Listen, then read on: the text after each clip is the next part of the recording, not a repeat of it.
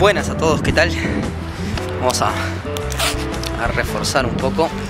Uno de los truquitos que está bueno es este tomar tu teléfono celular y tener aquí una aplicación que te ayude con la grabación de sonido.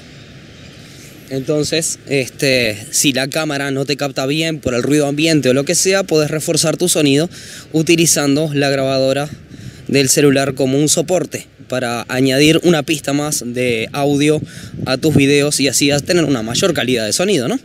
Eh, lindo paisaje, ¿no? Vamos a cambiarlo un poco. Ahí está, así me gusta más. Bueno, bárbaro.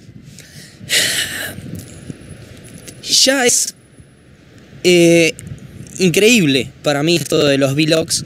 Y cuento por qué nunca, nunca me gustaron mucho los vlogs o ser vlogs.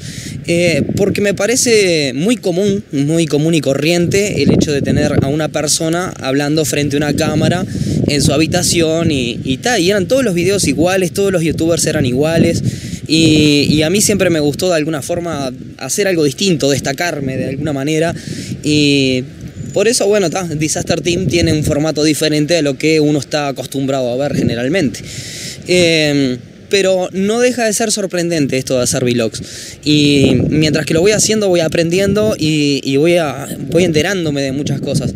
Como por ejemplo, eh, ayer eh, estuve todo el día caminando, estuve haciendo trámites y idas y venidas y, y reuniones y todas esas manos. Y bueno, cuando llegué estaba molido, no quería saber nada de nada. Entonces, ¡pum!, caí en cama, así como llegué.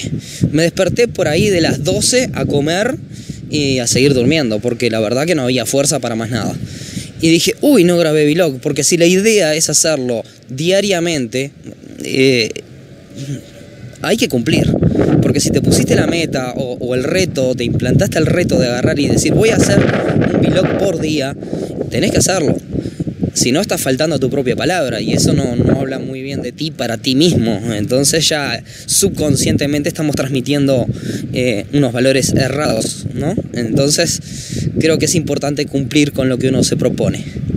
Entonces, bien, eh, vos fíjate que he hecho podcast eh, durante años y lo hacía con regularidad semanal, entonces te da otra libertad.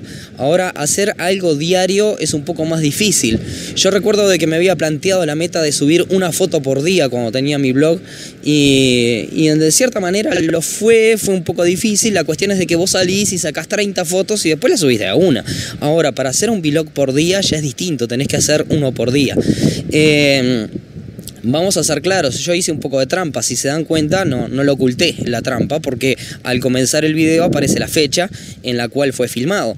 Eh, arranqué antes y empecé a publicar después, cosa de tener una ventaja en caso de lo que me pasó ayer, agarrar y decir, bueno, voy a hacer trampita, hoy grabo dos en vez de uno, entonces ahí complementás, porque tenés casi una semana de ventaja. Si bien me comprometí a hacerlo uno por día, eh, bueno, este que subí hoy, hoy subí el segundo. Así que fíjense que todavía me falta training. ¿Cómo que yo lo voy a, superar? Eso ya voy a poder entrar en ritmo.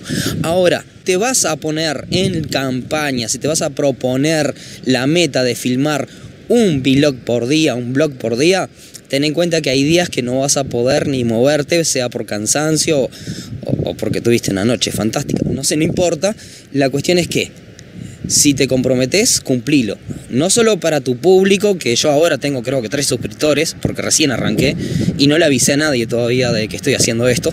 Voy a esperar a juntar un lindo número de videos como para que sea entretenido entrar al canal y ver más de una opción para ver. Pero bueno, la cuestión es la siguiente. Vos podés, aunque sea por 90 días, Siempre los retos se hacen por 90 días. Por 90 días, ¿vos serías capaz de grabar un vlog por día? Y subirlo, editarlo, subirlo, todo, pero que esté bueno, ¿no? Que, que, consuma algo de trabajo. ¿Sos capaz de grabar un audio y subirlo al podcast, eh, Podium Podcast o Evox, como te dije la vez anterior? ¿Sos capaz de sacar una foto, editarla y subirla por día? Bueno, esos son retos que están muy buenos, son importantes y nos ayudan a cobrar disciplina y de alguna manera muy directa a enfocarnos de tal manera en la cual nosotros vamos en dirección a lo que estamos buscando. Bueno, capaz que esté hablando solo, todavía ni siquiera anuncié mi canal, pero ya lo verán, supongo en algún momento. No tiene fecha de comienzo, no tiene fecha de caducidad, solo 90 días. Así que si te animas, súmate al reto. Me encantaría saber qué reto vas a encarar. Si vas a hacer un vlog, si vas a hacer un podcast, fotografía, lo que sea, durante 90 días. Avísame, de última te puedo dar alguna sugerencia de lo que estoy aprendiendo ahora y de lo que aprendí de otros emprendimientos anteriores. Bueno, muchas gracias. Nos vemos. Me voy por allá.